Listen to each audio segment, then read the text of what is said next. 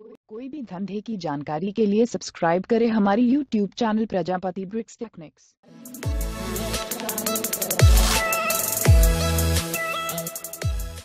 चलो गाइस आज जानते हैं कि कच्ची ईटों को पकाई कैसे जाती है, यानी कि ब्रिक्स को लाल कैसे बनाई जाती है तो फ्रेंड्स वीडियो शुरू से अंत तक देखें।